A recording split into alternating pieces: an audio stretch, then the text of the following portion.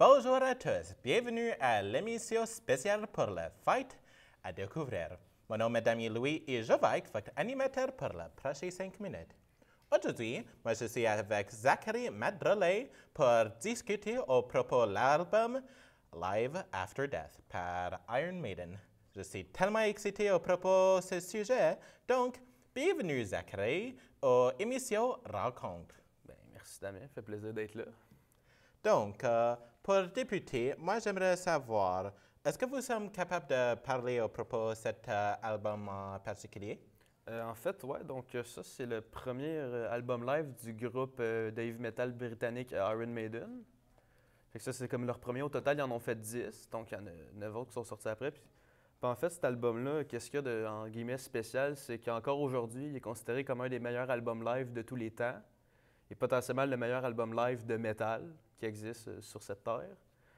Puis c'est ça, donc euh, effectivement, c'est là que a enregistré justement cet album-là. C'était dans la tournée en 84 et 85, dans le World Slavery Tour. Ils, ont, fait le tour du monde. Parce qu'Iron Maiden, quand il fait le tour du monde, c'est pas, euh, c'est pas 30 villes dans trois pays différents. C'est vraiment, ils font le tour du monde puis ils partent. des fois, ils partent six mois, comme qu'ils peuvent, partir un an et demi, C'est vraiment ça, des tournées. Fait que autant en enregistrer, autant en enregistrer, enregistrer un album live. là. Hmm. Et vous dites que c'est un album live. Euh, pourquoi vous avez fait ça, un album live, au lieu de comme une fête dans un studio dé- dédié pour du- des affaires comme ça? Ben en fait, comme qu'ils l'ont déjà expliqué dans des entrevues, c'est que c'est en live vraiment que leur musique apprend euh, toute leur ampleur. tu sais. Le fait de faire de la musique, s'il n'y a pas de public en maintenant, c'est- ça sert à rien. Fait qu'en live, c'est là vraiment dans le concert, c'est là que la musique prend son importance. Fait qu'ils se sont dit autant en enregistrer un album pour en faire, euh, peut-être qu'ils se sont dit pour faire le meilleur album de tous les temps, mais Hmm. surtout pour se dire vraiment, peut-être donner la chance aux gens qui n'ont pas nécessairement euh, l'argent pour se payer des concerts, aller pour justement vivre un peu, entre guillemets, c'est quoi Iron Maiden en live?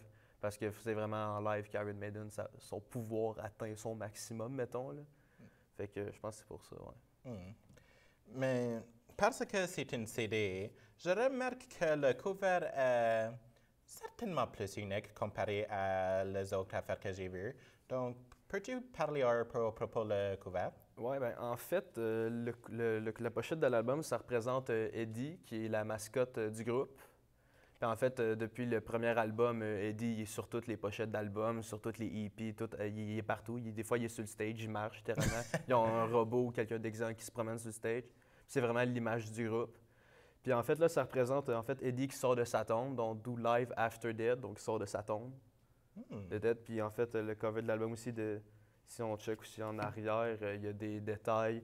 Euh, il y a des, il y a des- sur les tombes, il y a des noms où il y a, il y a des choses inscrites, justement. Puis il y en a que ça fait des références à des chansons ou à un peu l'univers du groupe, vraiment. Mhm. là. Et est-ce que tu peux dire un peu au propos du groupe dans comme une couple de secondes? Euh, ben ouais, en fait, Iron Maiden, c'est un groupe britannique, comme je l'ai dit. Il a été créé en 1975 par le, le bassiste euh, Steve Harris, qu'on trouve dans, dans- sur la pochette d'album à l'intérieur. En fait, c'est lui qui a vraiment, c'est son groupe, c'est lui qui l'a fondé. Ah, Puis encore aujourd'hui, Iron Maiden font encore des tournées, font encore des albums. ça, c'est vraiment intéressant. Mais moi, j'ai besoin de... On a besoin de quitter, donc désolé, mais on va plus tard parler au propos euh, Amin Tazi avec son couteau fait en or. Je suis vraiment intéressé sur euh, le-detai o propodesa, parce que si pas exactement si va au voir détail, mais on va voir une autre journée. Au revoir.